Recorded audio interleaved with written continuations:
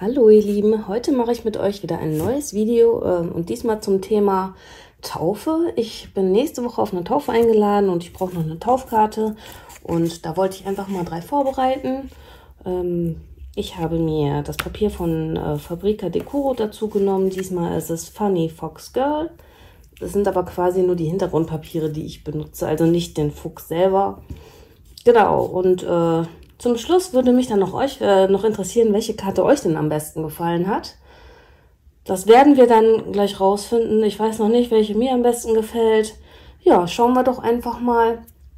Ich zeige euch jetzt kurz gleich den Block im Anschluss nochmal, die einzelnen Seiten. Und dann fangen wir auch schon an zu basteln. Dann würde ich sagen, ich zeige euch später noch, was ich zusätzlich benutzt habe. Und wir schauen uns die Karten einfach nochmal ganz in Ruhe an. Also bis, bis später gleich. Tschüss.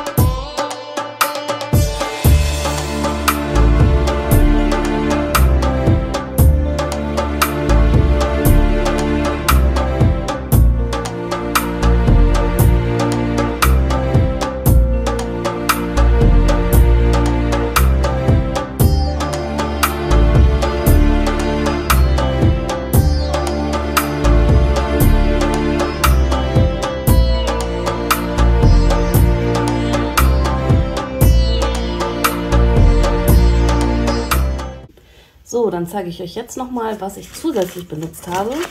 Das ist einmal hier diese Buchstaben und schon die vorgegebenen Worte zur Taufe.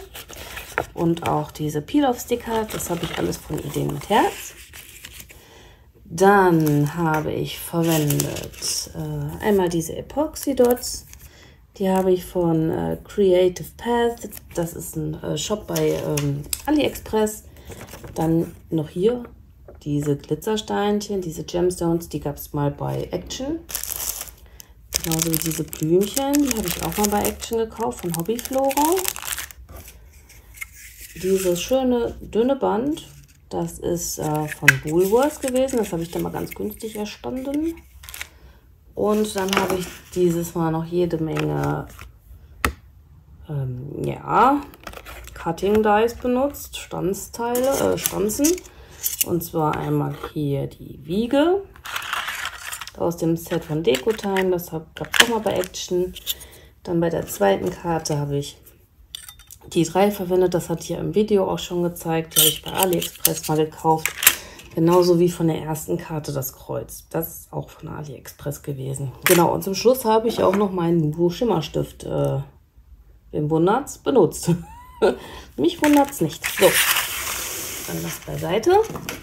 Und jetzt nochmal die Karten ganz in Ruhe. Ich habe auch alle drei Karten in drei verschiedenen Größen gemacht. Hier habe ich halt äh, den Kinderwagen, äh, den Kinderwagen, sag ich schon, das Kinderbettchen genommen.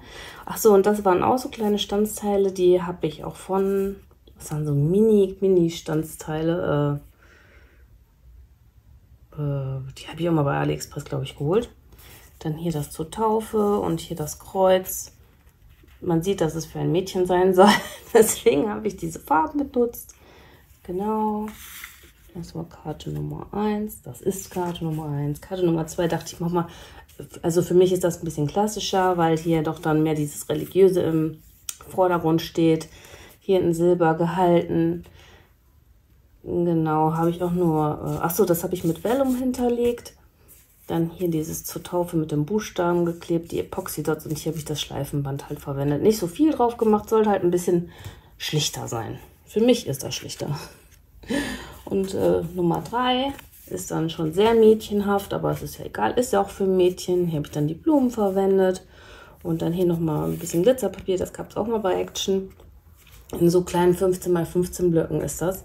Dann noch hier diese Gemstones und hier habe ich gedacht, das Kleid soll für mich so ein bisschen das Taufkleid darstellen. Genau, deshalb habe ich diesen Hintergrund auch gewählt, um auch drei verschiedene Sachen zu haben. So, mich würde mal interessieren, welche Karte gefällt euch denn am besten? Wenn ihr ein Kind zur Taufe hättet, worüber würdet ihr euch am meisten freuen? Schreibt es mir doch gerne in die Kommentare. Sollte euch das Video gefallen haben, dann würde ich mich natürlich wie immer über einen Daumen nach oben sehr freuen. Genauso darüber, wenn ihr meinen Kanal abonniert und am besten noch den Abo-Button drückt, äh, den, die Klingel drückt, dass ihr auch immer seht, wenn ich neue Videos habe. Ich habe übrigens eine neue Kamera Kamerahalterung, deswegen äh, könnte es alles ein bisschen anders aussehen als sonst. Ich fuchs mich dann noch durch. Mir ist vorhin die andere kaputt gegangen, aber ich hatte schon in weiser Voraussicht eine neue bestellt. Aber egal. So viel nur dazu. Dann würde ich sagen, vielen, vielen Dank fürs Zuschauen und äh, fürs nächste Mal gibt es dann vielleicht mal wieder ein 10-Karten-Video. Auf jeden Fall würde ich das gerne mal wieder machen, wenn es die Zeit zulässt. Also bis dann. Tschüss.